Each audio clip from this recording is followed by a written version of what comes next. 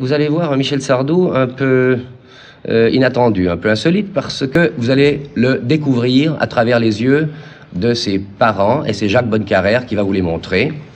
Jacques Bonnecarrère. Oui, je crois que euh, j'ai découvert cette semaine les deux admirateurs inconditionnels de Michel Sardou, qui sont euh, Fernand Sardou et Jacques Rollin, ses parents.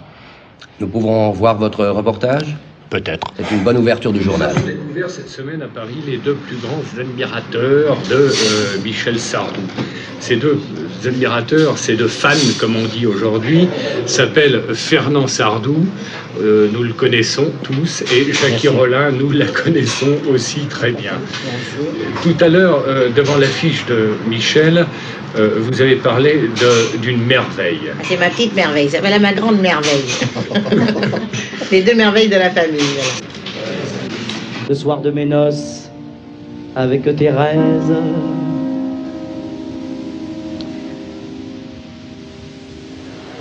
Quand on s'est trouvé tout déshabillé, en sentant frémir son beau corps de braise, je me suis pensé, je vais l'embrasser. Aujourd'hui peut-être, ou alors demain. Moi les émotions brûlées, ça me rend tout blême. Je l'embrasserai dès après-demain. Et si je peux pas l'embrasser moi-même, mais soudain ça m'a pris au petit matin.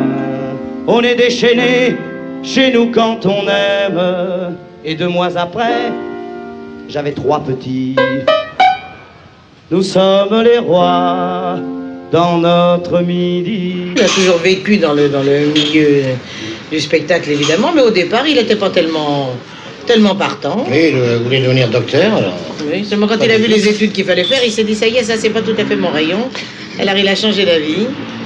Et puis, son père, après, l'a pris avec nous dans le cabaret où nous étions. Et puis après, il est parti tout seul avec Fugain, ils ont fait un duo tous les deux, et ils ont fait le tour de France avec leur guitare pour essayer de placer leurs chansons. Pendant trois ans, ça n'a pas marché du tout, puis vous voyez maintenant, ils se sont séparés tous les deux, et à partir de ce moment-là, le petit est parti, alors comme dit, la merveille. La merveille est partie, et Michel aussi, l'autre Michel aussi. Michel aussi, les deux Michel ont marché. Voilà. Euh, vos parents, vous, euh, faisaient partie aussi de ce milieu Ah oui, ma mère était danseuse, au Moulin Rouge, en face. En face. Et le père, le père à Fernand Ah oui, alors c'était le créateur des comiques excentriques. D'ailleurs, mon grand-père, c'est-à-dire son arrière-grand-père, était mime à Toulon avait déjà ce nom du Sardou. Il y avait déjà des Sardous à la fille il y a 100 ans. Alors pour peu que la petite fille prenne euh, la relève, ben, vous voyez, on n'est pas sorti de l'auberge. Parce que Michel est marié. Et Michel est marié. Il a une petite fille qui a 3 ans aujourd'hui. Il nous a donné une charmante belle fille, et alors une merveille, encore des merveilles. Il n'y a, pas de raison pour que, la petite ne danse pas, ne chante pas et ne fasse pas tout un tas de... Aujourd'hui peut-être, ou alors demain ce sacré soleil me donne la flemme, je la couperai dès après-demain. Et si je peux pas la couper moi-même. En ce moment, nous ne le voyons pas parce que d'abord, premièrement, il se prépare pour son tour, parce que là, il joue un grand coup.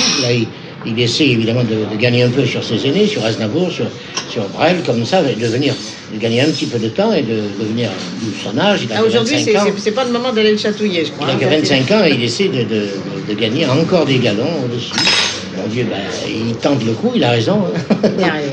c'est sa façon à lui. Aujourd'hui peut-être, ou alors demain, ces sacrés lapins me donnent la flemme, je la couperai telle après-demain. Et si je peux pas la couper moi-même, eh ben je lâcherai tous mes beaux lapins qui la couperont aussi bien eux-mêmes.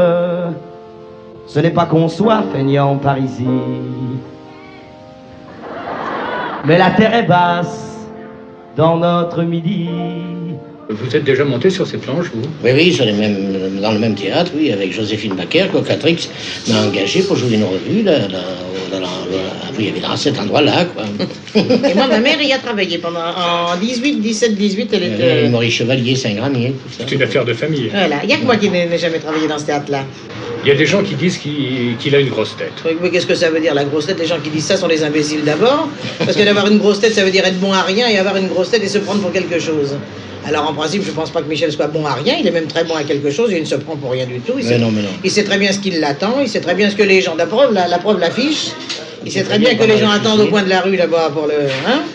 pour le fusiller, il a bien fait, mais enfin, il a pas de la grosse tête, c'est plus des imbéciles qui ont la grosse tête. Et comme il fait pas partie des imbéciles, absolument pas. Et vous, est-ce que vous avez changé avec lui? Ah, pas du tout. Moi, pour moi, c'est toujours mon bébé. D'abord, je l'appelle toujours mon bébé. Et à l'au moment, je dis bonjour, mon bébé.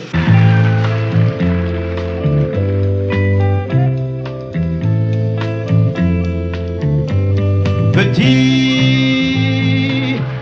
n'écoute pas les grands parler. Va-t'en jouer dans le jardin. Il y fait meilleur ce matin. Petit, n'écoute pas ta mère pleurer. Tant pis si elle a du chagrin va-t'en courir dans le jardin.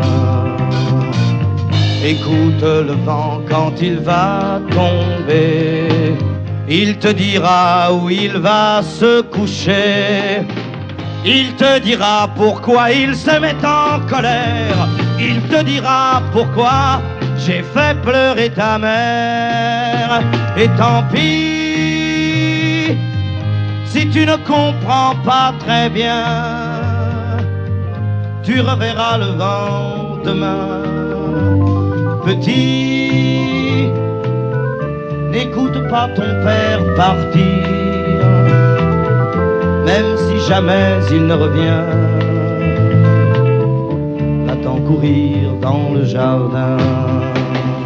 Quand je le vois en scène, euh, alors j'oublie absolument que c'est mon fils et, Là, là, c'est et là. je vois un gars, un gars formidable, il faut bien le dire, avec beaucoup de qualité, il faut bien le dire. Et je suis ravi que ce soit lui qui, qui possède tout ça. Maintenant, ce soir, quand il rentre, j'ai le trac, ça, terriblement le trac. Avant, j'avais le trac pour le père, j'ai le trac pour le fils. Qu'est-ce Ah, que vous lui souhaitez à votre bébé, à votre Mais je lui merveille souhaite un Eh ben, je bon- souhaite de réussir le coup qu'il a, qu'il a tenté, parce que c'est un grand match et c'est toujours très chouette de voir quelqu'un gagner un pari.